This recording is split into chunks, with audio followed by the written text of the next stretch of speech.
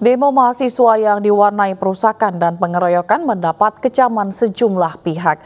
Salah satu tokoh NU mengusulkan agar ditertibkan fatwa haram demo di bulan Ramadan.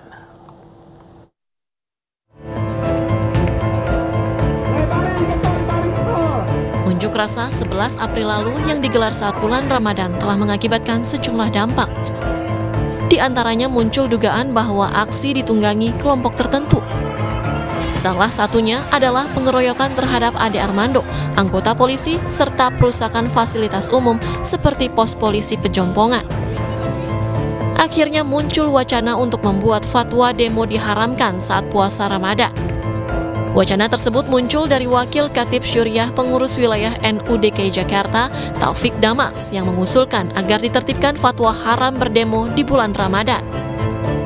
Menurut Taufik, saat berdemo banyak orang yang mudah meluapkan kemarahan yang tidak perlu sehingga rentan perselisihan.